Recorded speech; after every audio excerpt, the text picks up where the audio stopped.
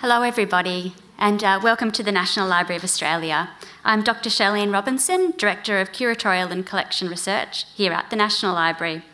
I'd like to begin by acknowledging Australia's First Nations peoples as the traditional owners and custodians of this land and give my respect to the elders, past and present, and through them to all Australian Aboriginal and Torres Strait Islander peoples.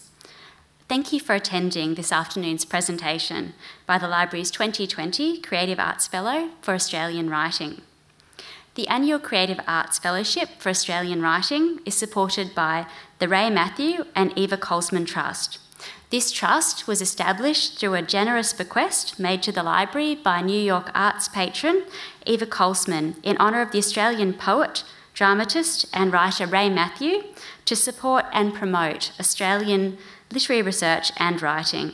This fellowship aims to allow writers to develop their creative works by immersing themselves in an aspect of the National Library's collection.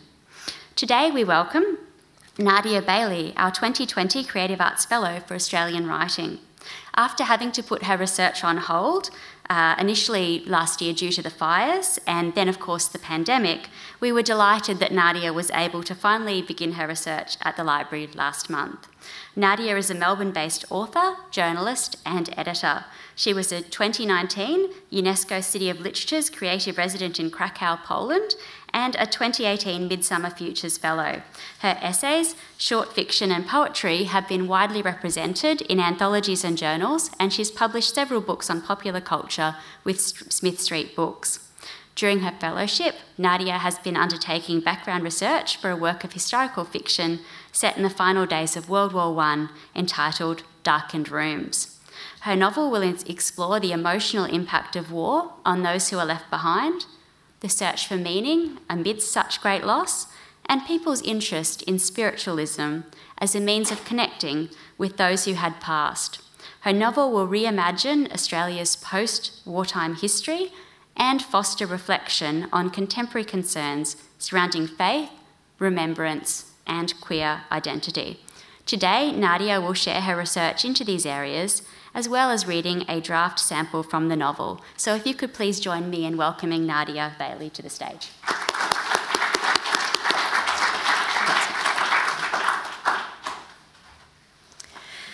Thank you for that very kind introduction, and thank you all so much for coming today. It's been a long, strange road to doing this fellowship. As Charlene mentioned, I initially was scheduled to come to the library in February of 2020, but because of the horrific bushfires of that summer, I decided to postpone my visit until the middle of the year, by which point the pandemic had happened and I was stuck in Melbourne in lockdown, unable to travel further than five kilometres from my home, far less interstate. So it's with great pleasure and no small amount of gratitude that I'm able to be here today. I came to this fellowship to undertake research for my novel in progress, a work of historical fiction set in Australia in the final days of the First World War. It tells the story of a young woman, Eden Sibley, whose brother has disappeared on the front, maybe missing, maybe dead. Bereft and grieving, she turns to a spiritualist medium named Maud Campion to help her find out her brother's fate through occult means. The novel deals with questions of faith and fact, grief and memory, science and the supernatural. And it's also a love story between Eden and Maud, who managed to find happiness with each other in a time when queer relationships were kept hidden. The National Library's uh, Creative Arts Fellowship for Australian Writing, supported by the Ray Mathew and Eva Kollsman Trust, offers writers like myself the opportunity to develop their creative ideas by immersing themselves in the collections. For me, this meant the chance to uh, dig deep into spiritualism's history in Australia and try to understand why so many rational men and women place their faith in this belief system how spirit mediums convinced them that communication with the dead was possible, and what spiritualism's impact was on the Australian experience of the Great War. It led me into what I can confidently say is some of the odder corners of the archives, where I found and read books like Spookland, a record of research and experiment in a much talked of realm of mystery with a review and criticism of the so called spiritualistic phenomena of spirit, spirit materialization by T. Shekleton Henry. It might be helpful at this stage for me to outline what I mean when I talk about spiritualism. Spiritualism, or spiritism as it was sometimes known, doesn't mean spirituality in its general sense. Rather, I'm referring to a specific belief system which grew out of the experiences of a pair of teenage sisters in America in the 1840s and centered around the belief that death was not the end, that those who had passed over could communicate with the living, and that with the right kind of training, it was possible for one who was sensitive to such things to receive messages from beyond the veil. In the spiritualist belief, death was viewed as simply the withdrawal of the physical man, clothed in his ethereal body, from the physical body, as one would withdraw a hand from a glove. Many of you will be familiar with the Ouija board and the seance, the joining of hands, the calling up of spirits, now a hallmark of Gothic literature and the standard stuff of horror movies. But before these things became embedded in popular culture, they were part of a genuinely held belief system that, although is most associated with the Victorian era, actually continued well into the 20th century and enjoyed a resurgence of popularity during the First World War, a time when death was so present in everyday life. As I began looking into the scholarship on this subject, I quickly discovered that the majority of studies focus on spiritualism's golden age, the Victorian era, while its popularity into the 20th century is treated largely as an afterthought Similarly, spiritualism in an Australian context has gone largely unexamined, though its popularity here cannot be denied. There was, for example, a dedicated spiritualist journal called The Harbinger of Light that was published monthly from 1870 all the way through to the mid 1950s, while spiritualist churches and lyceums had dedicated buildings in major cities and active chapters in places as far flung as the Kimberley. As a journalist in the Protestant Standard wrote in 1871, the system called spiritualism or spiritism with its allies, table turning, planchette, et hoc genus omne, have found for themselves a new youth in the genial clime of sunny Australia. It's from this place that the idea for my novel arose, and this particular time when ghosts were not feared but longed for, and the uncanny was welcomed into suburban Australian parlours through the medium's esoteric skills. My area of interest is less about whether these experiences of materialization, thought transference, or spirit communication were real, and more about how people experienced them whether they came with complete faith or existential doubt. The question of whether spiritualist mediums could actually were actually able to communicate with the dead doesn't much matter. Only the effects of believing it matter here. For example, we may doubt that the Sydney based Reverend Thomas Downes, author of The Way, the Truth, and the Light Spiritual Philosophy and Phenomena Positive Re- Revelation, was visited by the spirit of his enlisted brother late one autumn evening in 1917, or that this spirit told the Reverend that he was now on a march upward toward those bright spirit people and not a march looking for the enemy. But that visitation, or whatever it was, was clearly profoundly meaningful to the Reverend, and the account of it was meaningful to many others, and it had a very real effect on him and how he faced his bereavement. And of course, Reverend Downes was not alone. These were not beliefs only held by the oddball few. Countless other thoughtful and intelligent people had and recorded experiences of this kind in the years during and after the First World War. Though it's often remembered as a fringe pursuit orchestrated by tricksters and embraced by the credulous, spiritualism was, in fact, a major cultural force. And though the phenomena may have been fraudulent, the faith in it was real. And for me, that is worth studying. Spiritualism's history could conceivably be traced back as far as human life itself, as there have, has probably always been some kind of conception of a world beyond the physical, of ghosts, souls, or spirits. But as a defined doctrine, it probably starts in 1743 with Emanuel Swedenborg, a Swedish mathematician who, when he was 55 years old, began to experience spiritual visions and went on to write several books about his clairvoyant and psychic gifts. In 1788, Franz Anton Mesmer, a Viennese doctor, developed the theory and practice of mesmerism, in which he would put an afflicted person into a trance state and prompt them to diagnose their own ailments. The mesmeric trance went on to develop into a means of communication with the world of the soul. But it was in 1848 that the movement crystallized with an incident known as the Hydesville Knockings.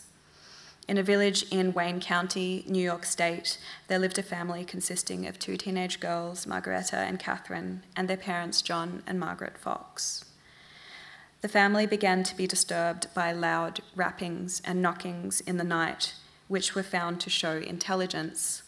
That is, there seemed to be some kind of consciousness present that could answer questions by responding with these mysterious sounds.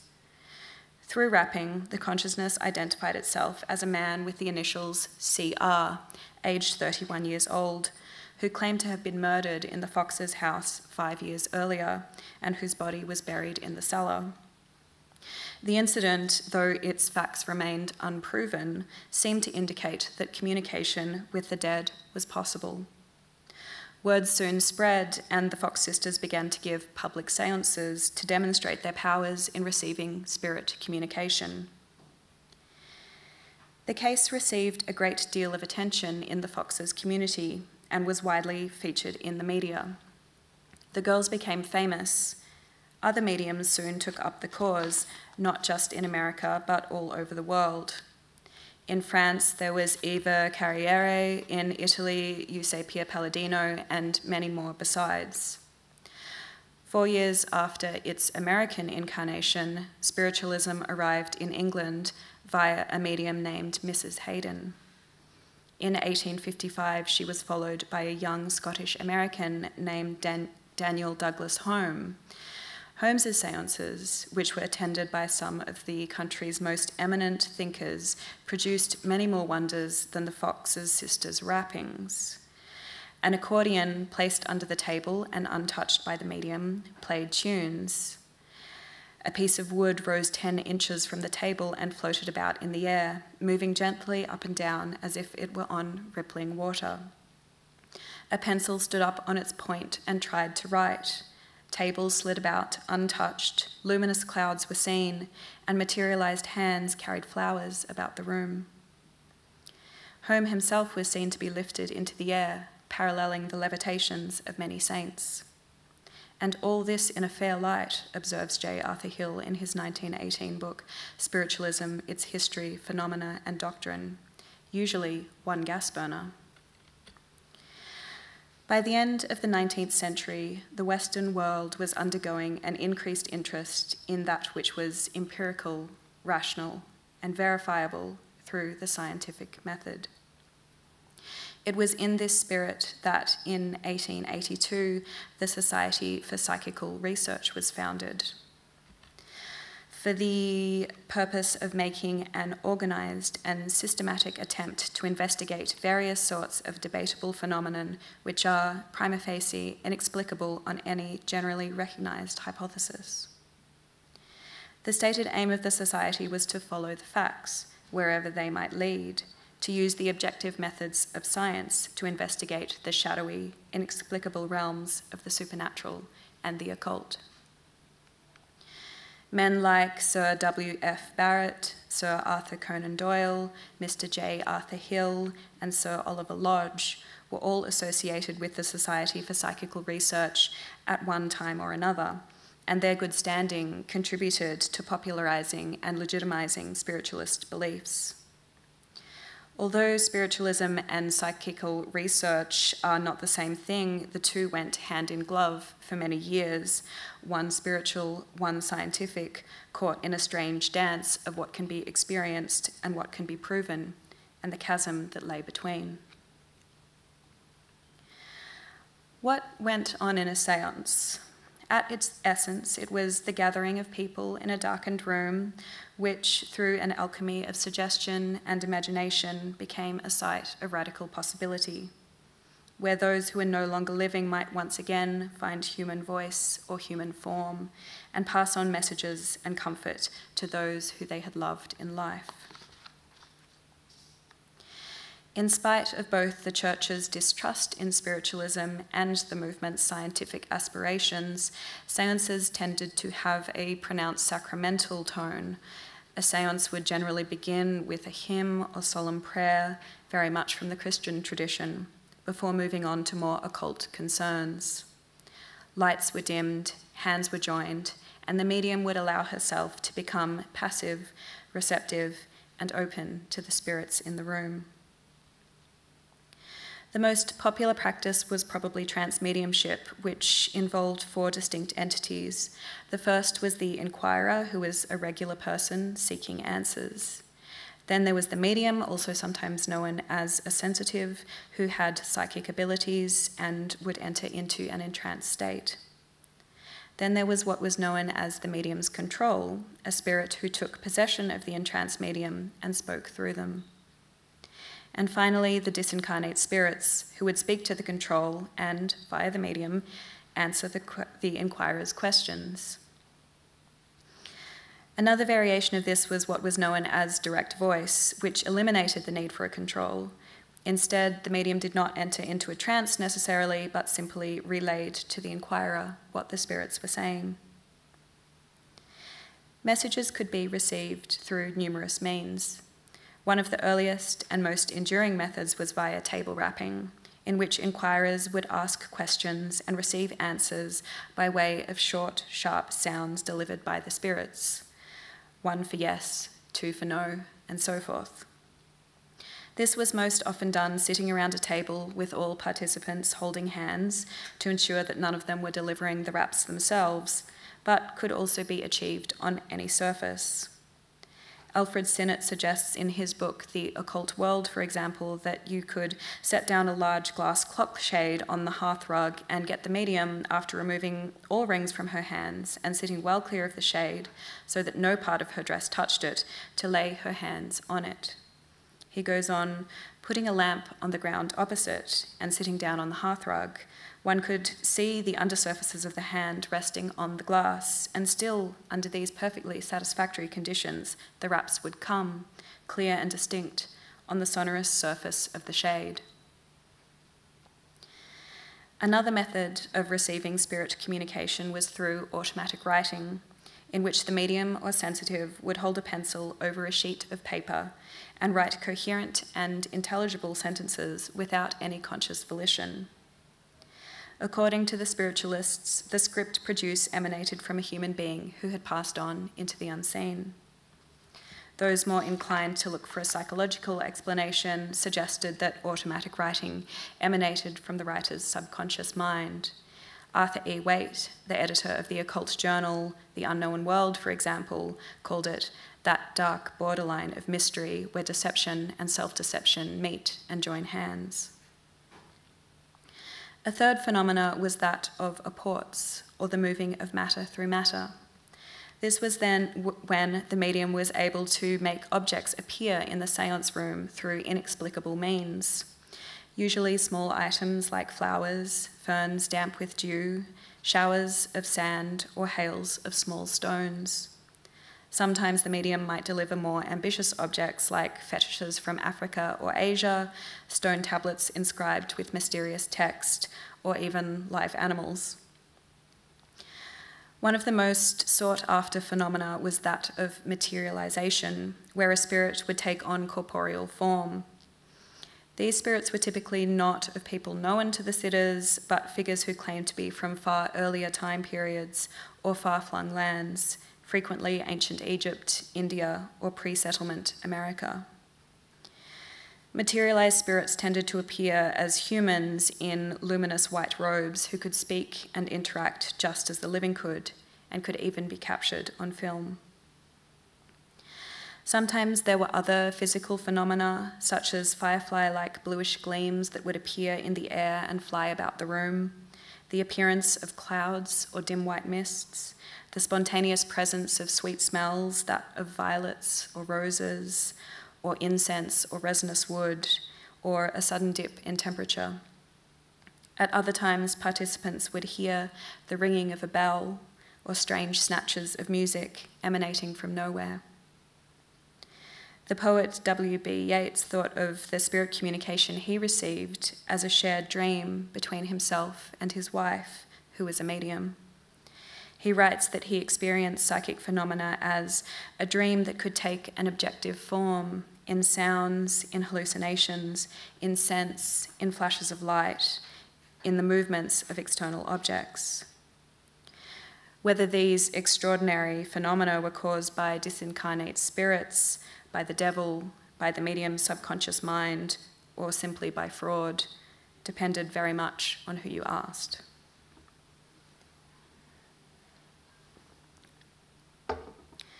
Spiritualism came to prominence at a time when great advances in science were being made, from electricity to the wireless telegraph to steam power to aviation.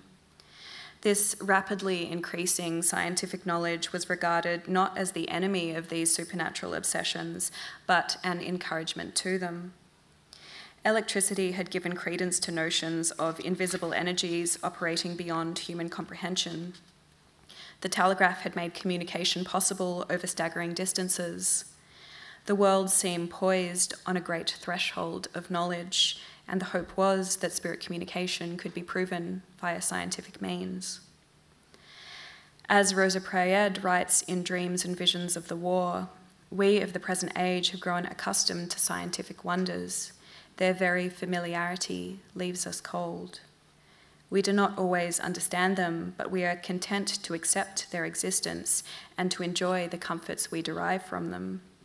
She goes on, How is it then that, in regard to supernatural manifestations, or rather to manifestations which are held to be supernatural, the majority of us are only too ready to emulate the unenlightened attitude adopted towards science by our forefathers? Simply because we fear to explore too deeply into the influences by which they are governed. As I mentioned at the start of this talk, one aspect of my research interest was looking at spiritualism in a specifically Australian context. The years leading up to the First World War were ones of progress and expansion for white Australians.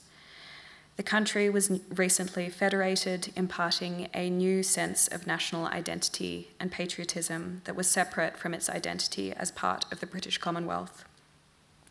Advances in medicine and nutrition meant that people were living longer and having better lives, while the growth of cinemas, gramophones, telephones, and steam travel meant that people had more opportunity for fun and leisure than those stern Victorians of the previous era. There was a sense that Australia was a place of liberalism, a young country where old world customs and ways of living could be swept aside and new ideas embraced and explored. It was from this fertile ground that radical ideas like spiritualism were able to flower. The Harbinger of Light, which is preserved on microfilm here at the National Library, provides a fascinating window into the occult concerns of Australia at the time. Within its pages are discussions of death and dying, reincarnation versus eternal life, the lost city of Atlantis, whether spirits can communicate by telegraph machine, and the advantages of vegetarianism, as well as articles about prophetic dreams, women's rights, eugenics, pacifism, and folk religions.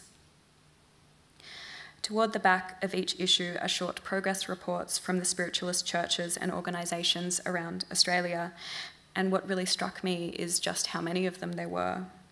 In 1915, for example, in Victoria alone, there was the Victorian Association of Spiritualists, the Spiritual Research Society, the Melbourne Progressive Spiritualistic Lyceum, the Brunswick Spiritualistic Lyceum, the Prahran Spiritualistic Church, the Richmond Spiritualistic Church, the Society for Spiritual Progress Bendigo, and the Geelong Spiritual Research Society.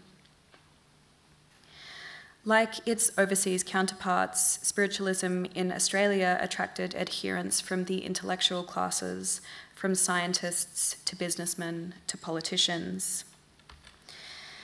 Alfred Deakin was an enthusiastic spiritualist as a young man and wrote for the Harbinger of Light under a pseudonym. He met his future wife, Elizabeth Martha Ann Brown, known as Patty, in 1874 at the Melbourne Progressive Lyceum, the Sunday school for the city's spiritualists, and she herself was a talented medium. Another prominent Australian to dabble in the occult was the artist and poet Norman Lindsay, who turned to the Ouija board for answers after the loss of his brother Reg in the Great War. Despite being stridently anti religion, Norman wrote in his autobiography, My Mask, that the emotional insecurity brought on by the horror of the First World War sent nearly everybody into the back parlour limbo of spiritualism. Australia was and is a largely secular society, which meant there was a resistance to organised religion, especially among the middle and working classes. A 1913 editorial in the Harbinger of Light recognised the lack of a living faith in Australian cities and an ever growing mass of non churchgoers. People tended to be nominally Christian, undergoing baptism and perhaps attending church services during festivals and holidays, but there was no deep allegiance to tradition and dogma. A belief system like spiritualism offered religious feeling without the constraints or demands of conventional faith. Or, as one advertisement for the Melbourne Progressive Spiritualistic Lyceum put it, no creeds, no dogmas, no doctrines. Unlike most other religions at the time, spiritualism offered opportunity for spiritual authority for women as well as men. In fact, women were considered to be naturally more suited to mediumship, being thought of as essentially intuitive, passive, and receptive. In an anonymously penned book called Ghostland, the author writes that those best suited to mediumship were delicate and sensitive persons, young children, pure and simple minded women, those, in fact, whose physical and nervous temperaments are negative and whose mind are receptive to the influence of others. By surrendering to that influence and disassociating from the physical world, women were able to open themselves to the spiritual world and its myriad inhabitants. Nearly every woman, writes Sir Arthur Conan Doyle in The New Revelation, is an undeveloped medium. In fact, spiritualism embraced progressive ideas and causes right from its inception. In America, it was closely associated with a group of radical Quakers who campaigned for women's rights and the abolition of slavery. And in Australia, it was associated with similarly liberal causes, including pacifism, the temperance movement, and women's suffrage. While the Society for Psychical Research was very much dominated by men, the mediums they studied, the keepers of the occult power, were more often than not women. Figures like the Fox sisters, Eusapia Palladino, Florence, Florence Cook, Emma Hardinge Britten, and Etta Wright, and a great many more besides, found attention, opportunity, and status through spiritualism that would not have been otherwise available to them. A 1913 article titled Women and Her Position in Spirit Life in the Harbinger of Light contended that in spirit life, male and female spirits are given equally important work. Each rule, each is given equal power, equal rank. It was only a small step from that idea that women might be deserving of those same privileges in their mortal life, too. In terms of my novel, which unfortunately I'm not going to read from today because I just had too much research to cover, but in terms of my novel, I was interested in exploring how spiritualism might offer avenues for queer women to subvert conventional gender norms. I discovered, for example, that a medium might, in the name of spirit possession, assume a male persona and have license to speak and act as though she were a man. Some of these masculine spirits were known to be extremely flirtatious. Occasionally, female sitters fell in love with them. The seance room could also offer the opportunity for physical intimacy with other women, whether that was the touch of the faith healer, the linking of arms around the seance table, or the thrilling caress of a friendly spirit. It was also common practice for female sitters to search a medium prior to a materialization seance. This was to make sure that she wasn't hiding any props in her clothing or about her person, but also offered extraordinary opportunity for intimate physical contact between women in a way that would have otherwise not been socially acceptable. Take, for example, this description of a dark seance from David P. Abbott's Behind the Scenes with the Mediums from 1916. The lady medium took this lady into a small room where absolute darkness reigned and had a sitting with her under test conditions. That is, the lady placed her toes on the medium's toes, her knees against the medium's knees, and she thought that she held the medium's hands. These kinds of practices are particularly significant when you consider cultural attitudes of the time. Discussions around homosexuality in general were largely limited to medical books. For example, Havelock Ellis's Sexual Inversion, published in 1896, or Richard von Krafft Ebing's Psychopathia Sexualis, published in English in 1903. And even in those books, female homosexuality barely gets a mention. Lawmakers at the time did not criminalise homosexual acts between women because they simply refused to believe that such a thing could exist. Evidently, ghosts were seen a more likely prospect than lesbians. At the close of the Great War, it would still be several years before the British writer Radclyffe Hall would publish The Well of Loneliness and propel the notion of female homosexuality or sexual inversion, as it was known, into the wider public consciousness. But of course, just because people weren't talking or writing about queer women in this era, it doesn't mean that there were none. In Australia, for example, there was Dr. Lilian Cooper and her great friend Mary Bedford, artist Irene Mort and her partner Nora Weston, Agnes Goodsir, the painter who gave her name to Goodsir Place here in Canberra, uh, the Ida Leeson, the first woman to achieve a senior management position in an Australian library, and many others besides. In terms of the spiritualist movement, Rosa Praed, who I've quoted from in this presentation, was a real life example. She was an Australian writer, most famous for her novels, uh, who emigrated to England with her husband in 1876. She separated from him a few years later and subsequently fell in love with a British medium named Nancy Harward. The two of them lived together as intimate friends for 30 years until Nancy's death in 1927. Spiritualism had begun to decline in popularity around the turn of the century. There had been too many psychic phenomena debunked and too many mediums exposed as frauds. The Fox sisters confessed they had made the original spirit rappings by way of cracking their toe joints. Disgraced, they both descended into alcoholism and died penniless and alone.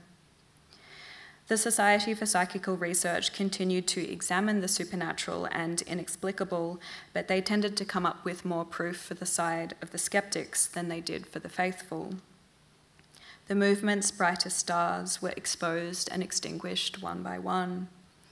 Spiritualism's ascension wavered and devolved into petty infights between various factions of the faithful, while those disillusioned slunk back to the safe realms of conventional religion. But then war was declared. In Australia, over 400,000 men enlisted in the Australian Imperial Forces, and nearly one in every five of them was never to return. As every strata of society searched for meaning amidst such cataclysmic loss, there was a quickening of religious feeling, which expressed itself both in conventional worship at churches and in more experimental and occult spheres. From all these classes, whether rich or poor, is drawn a companionship of the bereaved, writes Jane Stoddart in The Case Against Spiritualism, published in 1919. It is from them that the new spiritualism expects a multitude of recruits for their eyes are looking towards the shadows. In Australia, particularly, there was an anguish associated with having no body to bury, which led to grief without closure, robbed as they were of the usual rituals to mark out death and mourning. Perhaps he has no sleeping place even among the undistinguished dead, his body may have been utterly obliterated. His end may be subject for mysterious surmise, writes James Stoddart. If the churches cannot speak to the, to the mourners words of divine consolation, spiritualism will rush in with its false and fatal comfort. And rush in it did. The various churches in Australia were dismayed by spiritualism's resurgence in popularity as were the skeptics who had spent so long debunking its claims. A bishop remarked at the time there have been more people sent to hell through spiritualism than by all the bullets and shrapnel of this war. Another book I read called Spiritualism A War Disease, more obnoxious than the flu. And yet, for many, the war served as an awakening for new possibilities and beliefs. Sir Oliver Lodge, after losing his son in the war, published Raymond, a widely read account of his experiences conversing with his son's spirit through a medium. Grief sparked a search for answers to urgent questions about the nature of death and what happens after it. As Estelle Stead writes in her introduction to Dreams and Visions of the War, Today, when we are living under the high pressure and amidst the turmoil of war, when men are daily going forth to face death, when thoughts and prayers for loved ones are filling the air and everything is vibrating more quickly, it would seem that at times the veil has been lifted and a realization of the unseen forces around allowed to many.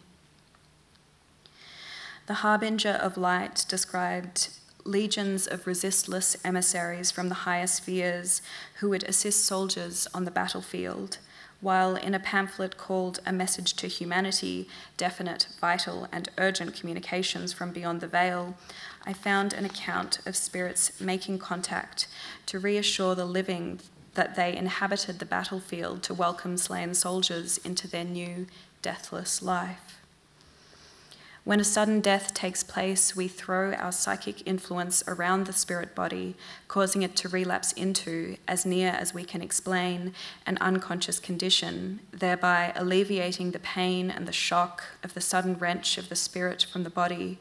And with loving care, we convey the newborn spirit to a place of quiet rest, letting our influence surround it, so that on awakening, the spirit may be kept within bound. There is a rich body of literature describing inexplicable phenomena experienced by both those at home and on the battlefield. Here's Rosa Praed again. Since the war, there have been many remarkable case, cases of visions commonly ascribed to telepathy, in which soldiers wounded on the battlefield have seemed to appear to their relatives at the exact moment of their great danger whilst there have been several more tragic instances also in which those at home have seen visions of dear ones killed in battle at the exact time of their death. Many of you will be familiar with the story of the Angel of Mons, a canny piece of war propaganda. But there were many other accounts of visions experienced by soldiers across the front here described by Bishop Welldon of the Manchester Cathedral in The Harbinger of Light. We have read lately of angels appearing not only in the fateful crisis of the retreat from Mons, but also in the forced stress of battle at the Dardanelles. In the agony of warfare, it is only likely it is only too likely that men may see visions, not the less significant to them, perhaps because they are spiritual and not objectively real. But the world is so full of mystery. There are so many things in heaven and earth as yet undiscovered and undreamt of in any philosophy that it would be as unscientific as it is irreligious to close the eyes and heart against the possibility of angelic ministries at the critical hour of human life.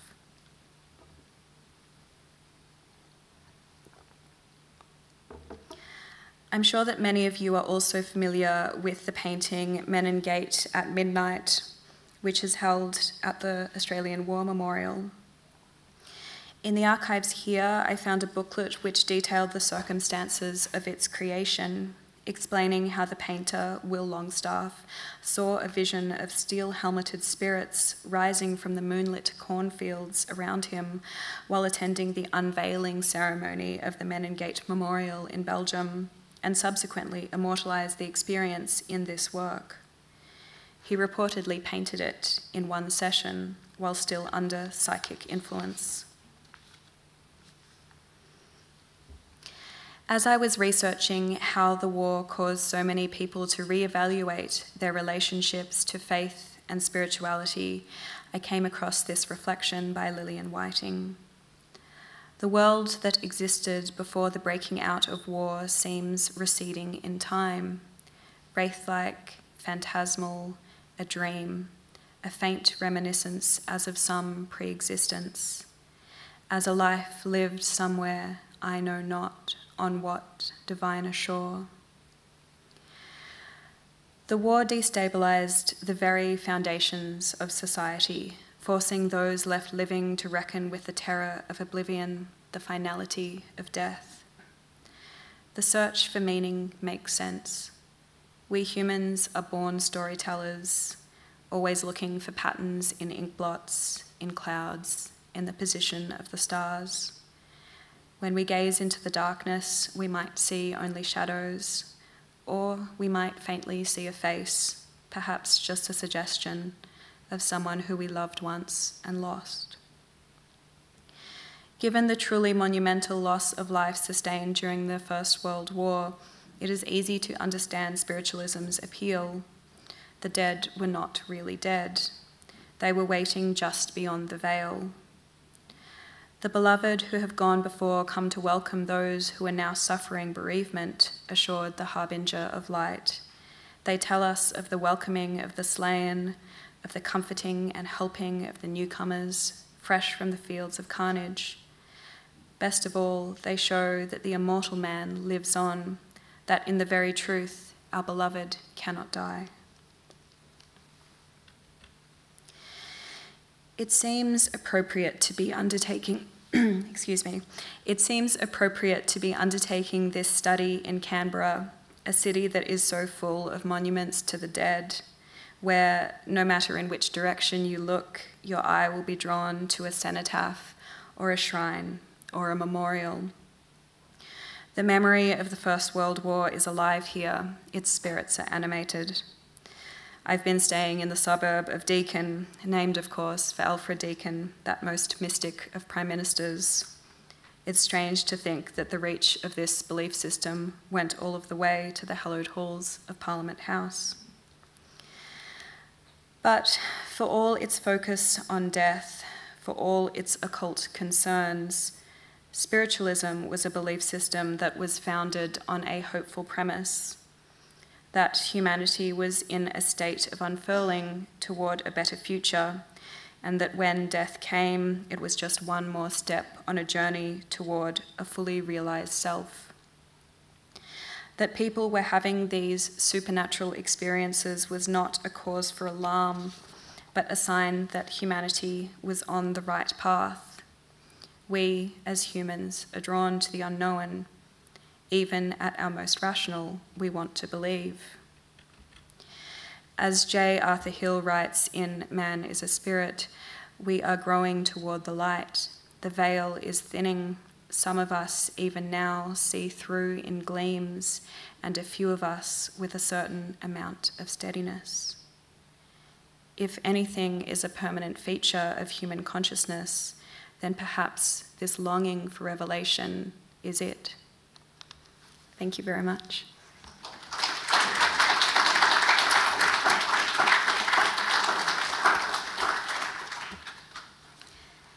And we do have time for uh, a few questions. So, uh, if there are people who would like to, to perhaps ask a question, uh, I would just ask that you uh, perhaps wait for a microphone to make its way to you because this is being recorded. Uh, there we go. Thanks, Nadia. That was, you know, it was such a generative and you know, fascinating talk. It's, I can't wait to read the book. Um, I wanted to ask you just a bit different question. So, you know, you laid out so beautifully, you know, the faith, the belief, you know, the longing for something, you know, what you, you know, you eloquently said beyond the veil and that.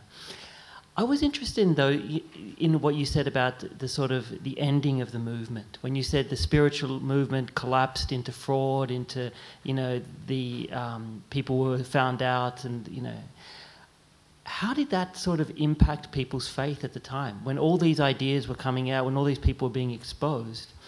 And you know many were exposed for mercenary interests.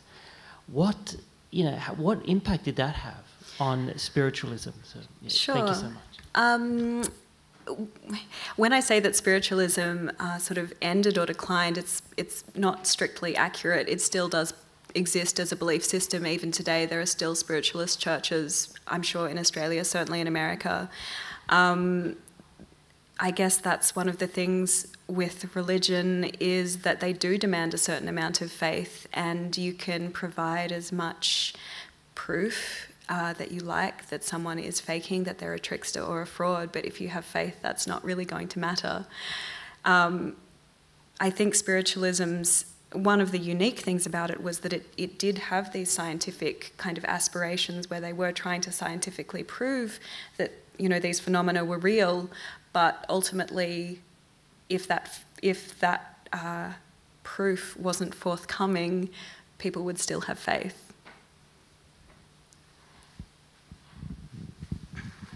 Thank you very much. That was a terrific talk. I really enjoyed it.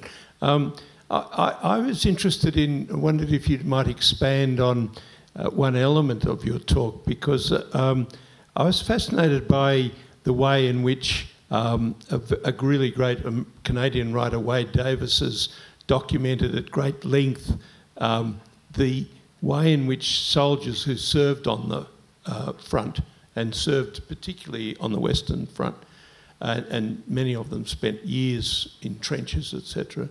He, in his terrific book about the two climbing expeditions to Mount, Mount Everest uh, in the 1924 and 27, he documents how they became so inured to death that they would do what were, by any rational standard, truly illogical things, that they knew that there was a possibility that everyone in their tent at night would be dead tomorrow.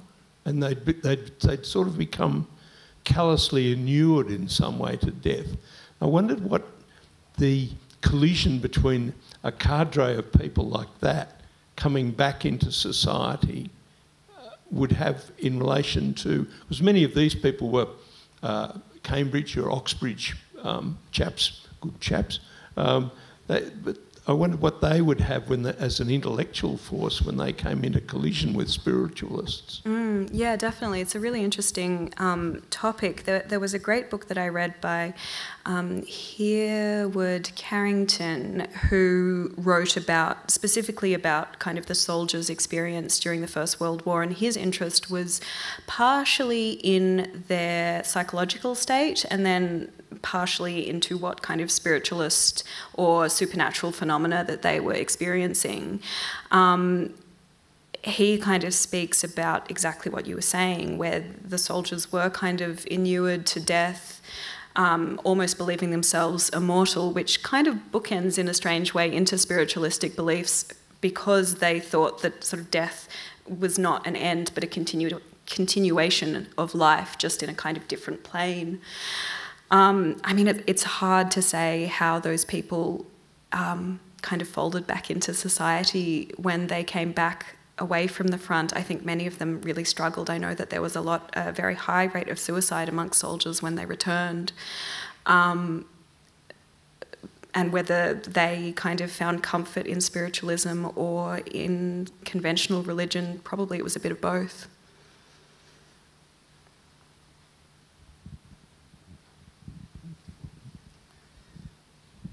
Um, I'm just interested in kind of a corollary of what you were saying then is, as far as I know, there's no war art subsequent to the First World War about spiritual experiences.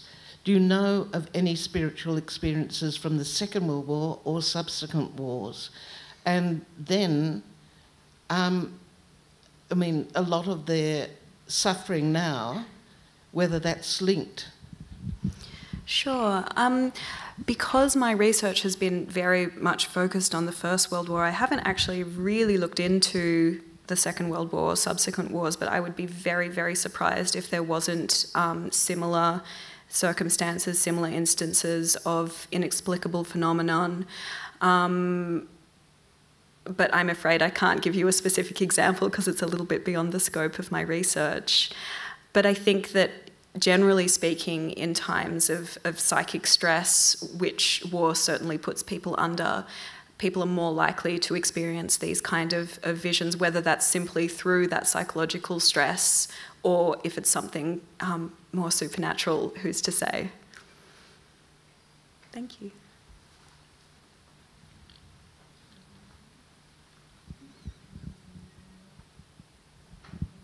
Uh, thank you, very interesting. Um, I just wondered if your research is, is following that stream of skepticism about spiritualism, and particularly the critique that spirit, you know, the, the fraud and uh, the, the, just the capacity of, of basically taking advantage of people's grief, and, and how, how you're following that, because I know that's a very strong tradition, um, and the magicians who just said, look, they're just using standard tricks, and there's a, there was a lot of that being said at the time, and of course since as well. And yes, very much so. Um, there's a really fantastic book held here at the library called Behind the Scenes with the Mediums, where um, a, a, man who practiced as a medium but was also a kind of um, magician went around and, and basically interviewed all of the mediums in America and found out all of their tricks and then wrote a book about it.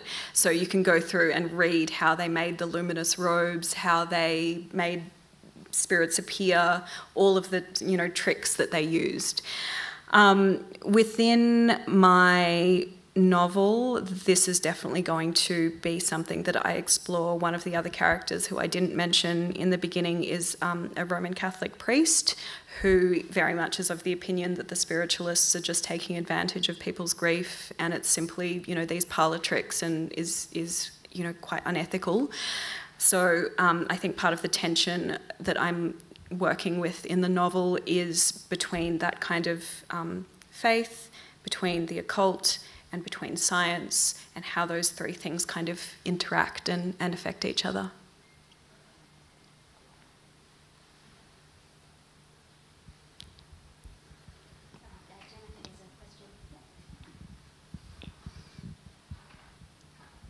Hi, thanks Nadia, that was awesome. Um, I was just wondering, it's, it's a kind of a um, straightforward question, but I'm wondering whether um, spiritualists and any of the spiritualists that you have looked at um, made use of photography or, or photographic um, technologies, and if, if so, in what ways? Yes, they did. Um, photography was obviously becoming kind of much more popular around this time. I think the First World War was maybe the first war that had photography as kind of a big part of it. Um, but in terms of spiritualism, they were fascinated with the idea of spirit photographs, um, which could could be one of a couple of ways. Whether it was just taking a photograph of someone and there would be these kind of ghostly faces appear, um, sort of surrounding them, or there was also, as I mentioned, um, when there were materialized spirits, the ones who actually kind of took on human form, they were also photographed. Um, from our point of view, when you look at them today, they, they're kind of laughably bad. Um, it's very, very obvious that it's either kind of like an exposed, a double negative, um, or that the, the, the, kind of materialized spirits are in fact just um, either lay figures or just people in kind of robes. Um, but at the time, it was taken very, very seriously. In Melbourne, there was an exhibition of spirit photographs. I was devastated that there weren't any examples held here, um, although some of them were. Um, uh, in the Harbinger of Light on microfilm, so I kind of got to have a look at them. Um, but yes, it, it, was kind of an interesting progression from the Victorian um, kind of obsession with photographing the dead and then through to this obsession with photographing spirits. So, yeah, it definitely played a huge part. Thank you. Um, well, look, I think I'll just uh, uh, quickly um, uh, mention that uh, if this presentation has inspired your creative side, that you might be interested to know that applications for the 2022 Creative Arts Fellowship will open in June. So if you or somebody that you know would benefit from the opportunity of four weeks research in the National Library's collection, uh, you can visit the library's website and find out further information on how to apply. But uh, I would just like to end today with a big thank you to Nadia for a fascinating presentation. So thank you.